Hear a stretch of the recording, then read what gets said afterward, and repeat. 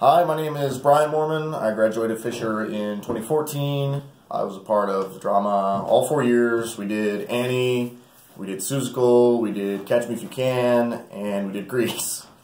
So and it was it was a lot of fun. It's I did I did football one year, I did track for two years, I did bowling my senior year, and the sports things are, are all good for people, but it's it's not good for all people, is my point.